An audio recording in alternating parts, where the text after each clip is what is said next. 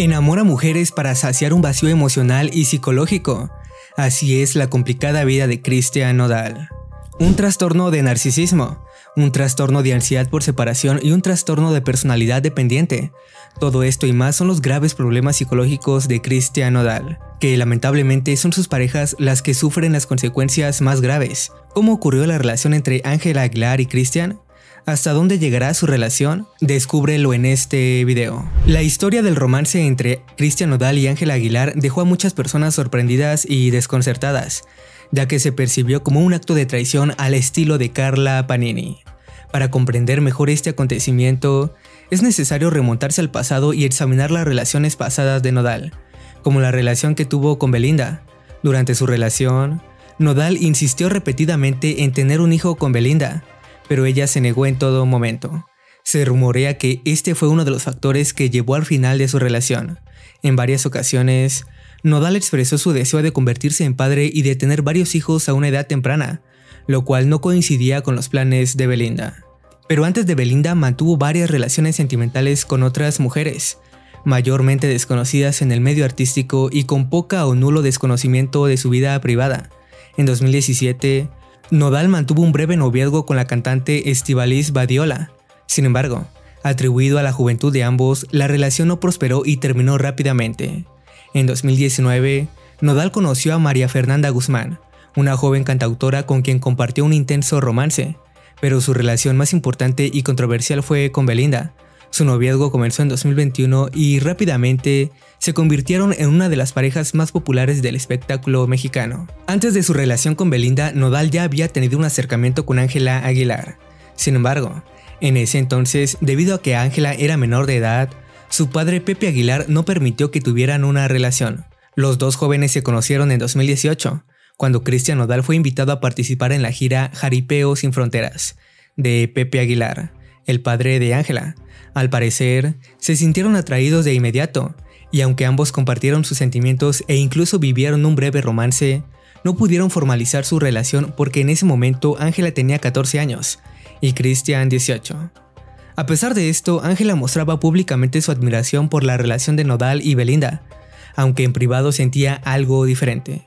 En varias entrevistas, Ángela expresaba su admiración por la pareja y su esperanza de algún día tener una relación similar en la industria, aunque también mencionaba su preferencia por mantener sus relaciones personales en privado, para evitar el escrutinio público constante. Sin embargo, algunos meses más tarde parece que el amor oculto de Ángela Aguilar seguía permaneciendo en su corazón. Ángela Aguilar publicó su primer álbum de estudio llamado Mexicana Enamorada, en el que incluyó una canción llamada Inevitable.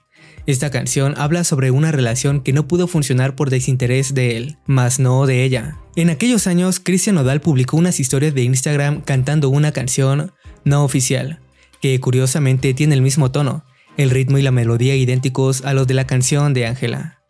Según lo que cuentan las canciones oficiales y no oficiales, su romance terminó por su diferencia de edades, aunque siguieron siendo amigos y ambos avanzaron con sus respectivas vidas amorosas, Ángela anduvo con el compositor Gus Lao de 33 años, cuando ella tenía 18, y el músico Rubén Berumen, quien protagonizó el video Corazoncito Tirano, y el jugador de fútbol americano Josh Ball.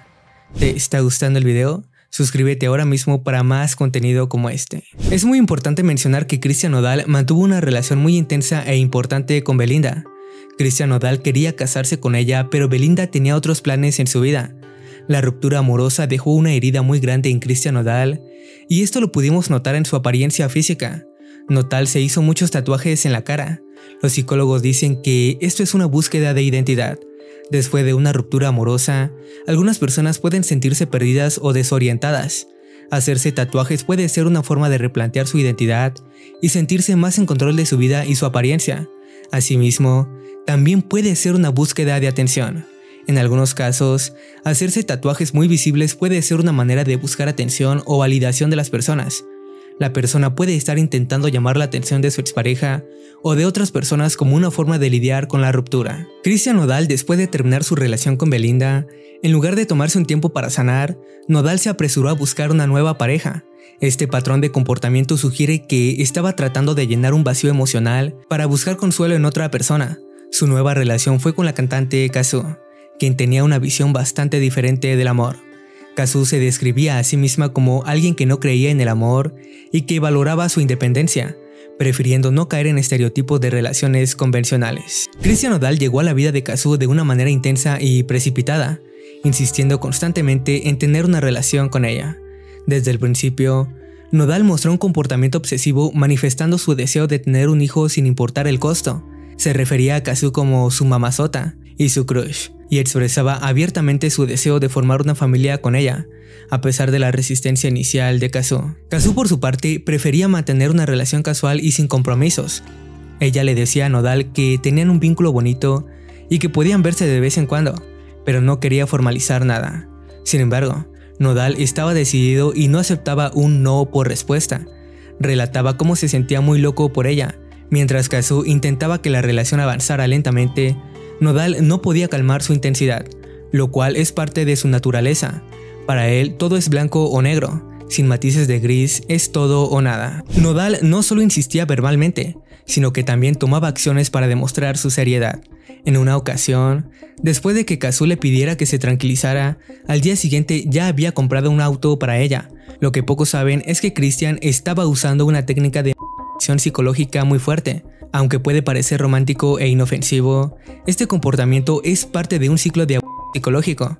Consiste en inundar a la otra persona con mensajes, llamadas, regalos e interés en grandes cantidades en un corto periodo. De repente, todo ese afecto desaparece por completo. Esta técnica es utilizada tanto por hombres como por mujeres para manipular a otros, creando una falsa sensación de seguridad emocional y estabilidad en la relación. En el caso de Nodal y Kazu, es evidente que Nodal utilizó técnicas de psicológica para obtener lo que quería, Kazu mediante demostraciones intensas de afecto y compromisos repentinos. Este comportamiento no solo es problemático, sino que también es un signo de una relación muy negativa y desequilibrada. Si recuerdas los inicios del video y las primeras relaciones que tuvo Christian Nodal, en poco más de 5 años, Nodal se ha manifestado profundamente enamorado de 5 parejas diferentes, con las cuales se ha pretendido comprometer e incluso ha formado una familia. Este cambio constante de parejas podría estar asociado con varias patologías y trastornos psicológicos, las cuales te mencionaré a continuación. Trastorno narcisista de la personalidad. Los individuos con TNP tienden a tener una autoestima inflada y una necesidad constante de admiración y atención. Pueden buscar constantemente nuevas parejas para alimentar su ego y obtener validación externa. Trastorno de ansiedad por separación. Este trastorno psicológico se caracteriza por un miedo intenso a ser abandonado o separado de la pareja. Las personas con este trastorno pueden buscar constantemente nuevas relaciones para evitar sentirse solas o abandonadas. Trastorno de la personalidad dependiente. Las personas con este trastorno psicológico tienden a tener una necesidad excesiva de ser cuidadas y protegidas por los demás. Pueden cambiar de parejas con frecuencia en un intento de encontrar a alguien que satisfaga sus necesidades emocionales y les proporcione seguridad. Cuéntame qué piensas sinceramente de Cristian Nodal y cuál de todos estos trastornos psicológicos o incluso todos crees que tiene el cantante de regional mexicano. Todo parecía ir de maravilla en la relación entre Cristian Nodal y Caso. Pero de repente todo cambió sin previo aviso. Nodal ya había conseguido lo que deseaba, pero en el fondo no era feliz debido a sus malas decisiones y a su tendencia a apresurarlo todo. Mientras mantenía su relación con Kazu, comenzó a refugiarse en Ángela Aguilar, con quien ya había sido visto en varias ocasiones, generando rumores sobre una posible relación entre ellos dos. Las pruebas del viaje romántico de la nueva pareja no tardaron en salir a la luz, y las imágenes confirmaron que ambos habían viajado juntos, este hecho permitió hablar con certeza sobre la relación, desatando la controversia. Para colmo, Ángela demostró su hipocresía al presentarse como amiga de Kazu e incluso como la tía de la hija de Nodal y Kazu, lo que recordó a muchos el comportamiento de Carla Panini. ¿Ya pudiste felicitar a Cristian? Ya le escribí. ¿Y qué te contestó? ¿Qué te dijo? A la casa le escribí en un comentario, pero qué bonita se veía. Yo de repente estaba viendo mi TikTok y de repente nada más veo que le hace así y se ve la panza y yo, ¡Ah! Voy a ser tía. Ángela, al ser interrogada sobre su relación con Nodal, mostró una cara diferente al público, comentando en redes sociales que había felicitado a Nodal y que se emocionaba con la idea de ser tía. Sin embargo, tras la avalancha de comentarios negativos, tanto Ángela como Nodal se vieron obligados a dar explicaciones. Nodal emitió un comunicado afirmando que nunca hubo infidelidad y que su relación con Kazu había terminado en buenos términos. Semanas después de su ruptura con Kazu, Nodal declaró públicamente su amor por Ángela Aguilar, subrayando que estaban en una relación. En sus palabras, Nodal expresó que Julieta, refiriéndose a Kazu, siempre tendría su respeto y que su amor no había funcionado, pero que habían terminado de la mejor manera posible sin la intervención de terceros ni infidelidades. Nodal también destacó que estaba viviendo una experiencia hermosa con Ángela, un amor que había tardado años en desarrollarse. Afirmó que lo que estaba sucediendo entre ellos era precioso y que ambos estaban disfrutando de la relación plenamente. Este anuncio oficial confirmó lo que muchos ya sospechaban, y aunque trató de aclarar las cosas, las opiniones y críticas no tardaron en aparecer. Lo más triste del caso es que la hipocresía de Cristian Nodal y sus malas actitudes no terminan aquí. Algunas semanas antes del Día del Padre, Kazu había escrito un mensaje muy emotivo del Día del Padre para Christian, que contiene el siguiente mensaje. Te mando este mensajito para desearte un muy feliz Día del Padre, primer Día del Padre, así que es muy especial. Te amo mucho, te amamos.